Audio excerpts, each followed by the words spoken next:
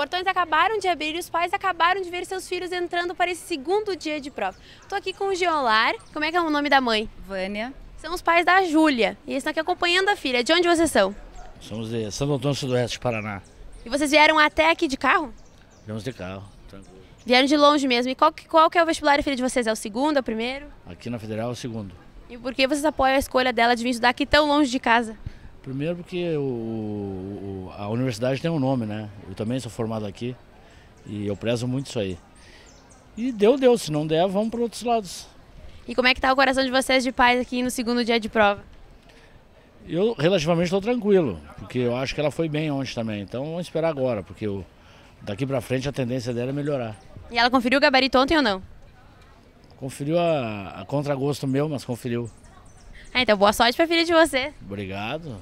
A gente vai continuar aqui acompanhando como é que estão os pais e os vestibulandos nesse segundo dia de prova. Jocely Lima para a TV Campos na cobertura do vestibular 2014.